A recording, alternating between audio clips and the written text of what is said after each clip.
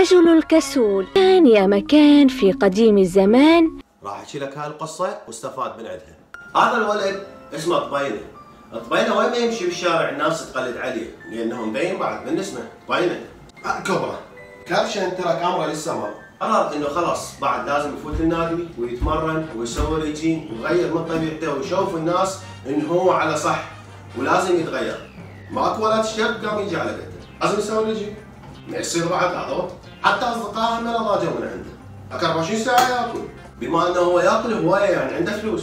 بما أنه عنده فلوس فقرر إنه يلمهن ويروح للمحل مال التجهيزات الرياضية. قلب الدنيا. اشترى المحل. شفقه دراسات رياضية. حزام مال بطن جفوف حتى كسارات هم اشترى. وقرر إنه يروح للنادي ويتمرن بعد حياته كلها. تمرين و diet. رجع للبيت. قال لهم أنا بعد ما اكل خلاص هذا الأكل كله شيلوه من قدامي. أغير من وضعي. لازم أسوي ريجيم قضاها العينتين. خيار وكيوي وتفاح وخضروات. بعد هذا انتهت السالفة. ما عرف شلون يفوت بالضبط للريجيم وعبر المراحل هاي كلها ووصل للمرحلة الأخيرة بأول يوم. أنت بهاي الحالة راح تفوت جسمك بمرحلة انهيار. من سعرات عالية 5000 6000 سعره باليوم. اجيت وقطعت راح تفوت 500 إلى 1000 سعره باليوم. وش مالتها؟ راح تتمرن راح تخسر سعرات حرارية من جسمك. مخازن مال الجلايكوجين اللي بجسمك تريد من عندك. عقلك يريد من عندك. صحتك تريد من عندك. ما طول عليكم. خلال ثلاثة أيام قطع التمرين ورجع ياكل أكل كلش قوي وبشراهه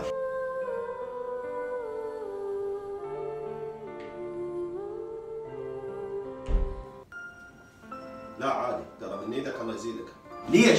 لأن جسمه بعد ما تحمل الانهيار اللي وصل له لأن قطع الوجبات بالضبط. صعد درج بس طفر على آخر باية. أنت غير تصعد باية باية حتى توخر هاي. لذلك نستفاد من قصة الطبينه إنه إذا تريد تسوي ريجيم لا تهجم. ولا تخبص نفسك.